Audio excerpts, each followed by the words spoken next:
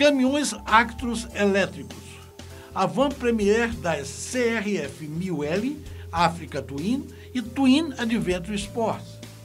E importados, o novo Azira chega ao Brasil. Caminhões Actros elétricos iniciam testes. Dois caminhões e-Actros totalmente elétricos começaram a operar na Suíça. Um modelo de dois eixos, 18 toneladas de PBT, peso bruto total, atua em serviços de logística na Camion Transport na região de Sangalhão. Já a rede de supermercados Migros utiliza uma versão de três eixos e 25 toneladas de PBT para o transporte entre suas unidades na área de Zurique.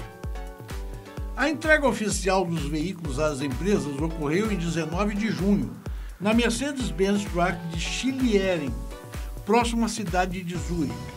Os veículos são parte da frota de inovação do e-Actros, que visa testar os caminhões elétricos pesados juntos aos clientes. Cada um dos caminhões em teste na Suíça precisa cobrir cerca de 150 km por dia, que é plenamente atendido pela autonomia do e-Actros de até 200 km.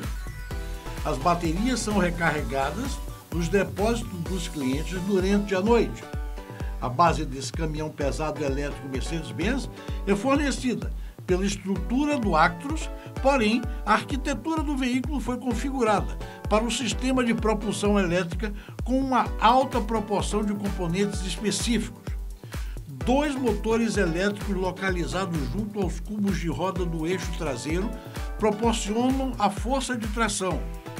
Esses propulsores geram 126 kV de potência cada um, com torque máximo individual de 485 Nm. As reduções de engrenagem convertem esse toque para 11 mil Nm cada, resultando num desempenho de rodagem equivalente ao de um caminhão com motor a diesel.